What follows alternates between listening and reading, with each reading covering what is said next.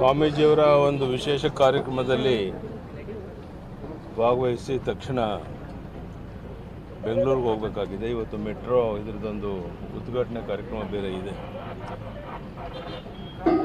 ಮಂತ್ರಿಮಂಡಲದ ವಿಸ್ತರಣೆ ಮಾಡಿದ್ದೇವೆ. ಕೇಂದ್ರದ ನಾಯಕರ ಅಪೇಕ್ಷೆಯಂತೆ ಇನ್ನೊಂದನ್ನು ಖಾಲಿ ಇಟ್ಕೊಂಡಿದ್ದೇವೆ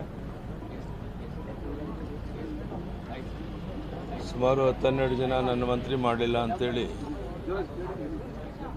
ಆರೋಪಗಳನ್ನು ಮಾಡ್ತಿರೋದು ಸಹ ಬರ್ತಾ ಇದೆ ಎಲ್ಲ ಅದಕ್ಕೆ. ನನ್ನ ಇತಿಮಿತಿಗಳು ಏನು ಮಾಡೋಕ್ಕೆ ಸಾಧ್ಯ ಅದು ಮಾಡಿದೆ ಇಲ್ಲ ಸಲದ ಆರೋಪಗಳನ್ನು ಮಾಡ್ತಾ ಇದ್ದಾರೆ. ಯಾರು ಆರೋಪ ಮಾಡ್ತಾ ಇದ್ದಾರೆ ಅವ್ರಿಗೆ ನಾನು ವಿನಂತಿ ಮಾಡುವಂಥದ್ದು, ನೀವು ನಿಜವಾಗೂ ಏನಾದ್ರು ಆರೋಪ ಮಾಡೋದಿದ್ರೆ ಕೇಂದ್ರದ ನಾಯಕರ ಜೊತೆ ಹೋಗಿ ಮಾತನಾಡಿ.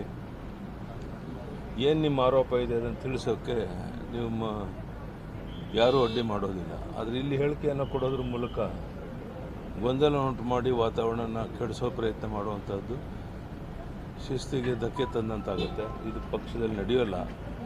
ಇದಕ್ಕೆ ಅವಕಾಶ ಕೊಡಬೇಡಿ.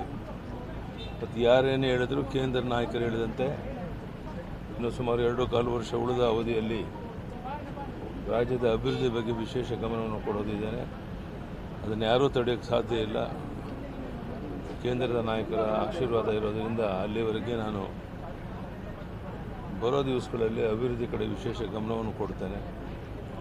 ಈ ತಿಂಗಳು ಕೊನೆಯಲ್ಲಿ ವಿಧಾನಮಂಡಲದ ಅಧಿವೇಶನ ಪ್ರಾರಂಭ ಆಗುತ್ತೆ. ಮಾರ್ಚಲ್ಲಿ ಬಡ್ಜೆಟ್ ಅಧಿವೇಶನ ಮಾಡೋರಿದ್ದೇವೆ. ಹಣಕಾಸಿನ ಇತಿಮಿತಿಗಳಲ್ಲಿ ಒಂದು ಒಳ್ಳೆಯ ಬಡ್ಜೆಟ್ ಕೊಡೋದಕ್ಕೆ ರೈತಪರ ಬಡ್ಜೆಟನ್ನು ಕೊಡೋಕೆ ನಾನು ಪ್ರಯತ್ನ ಮಾಡ್ತೇನೆ. ಪಕ್ಷ ಮತ್ತು ಸರ್ಕಾರದ ಮಧ್ಯೆ ಸಮಾನತೆ ಇಲ್ಲ. ಅದಕ್ಕೆ ಕೋಆರ್ಡಿನೇಷನ್ ಕಮಿಟಿ ಬೇಕಾಗುತ್ತಾ? ಏನು ಅದು ಯಾವುದೇ ಅಗತ್ಯ ಇಲ್ಲ ಅದಕ್ಕೆ ಅವರು ಯಾರು ಏನೇ ಮಾತಾಡೋದಾರು ದೂರು ಕೊಡಲಿ ಅದು ಏನಾದ್ರು